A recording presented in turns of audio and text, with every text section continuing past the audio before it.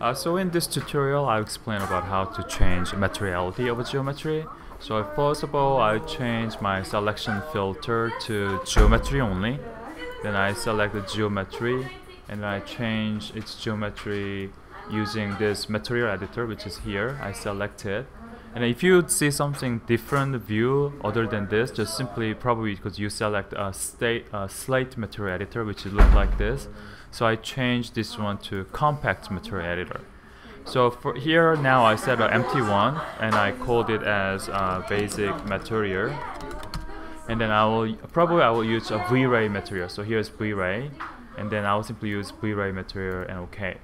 Uh, diffuse is actually uh, setting the main colors. If I change it, I just make. Uh, if you want to change this color, just change color here and color like this, and then OK.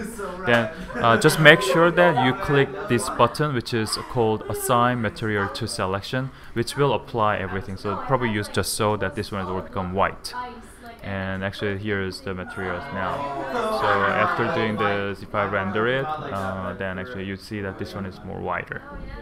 Okay. Then in this case you probably want to change the rendering setting which is a little bit make this one a little bit darker uh, by a little bit make it faster and f number probably is uh, larger one let's say 9 then if I render it so probably it's a little bit darker now and I even make it uh, so at a 400 okay, and then actually uh, I make it a little bit darker too. So it's a little bit pinky because it is kind of like a winter light.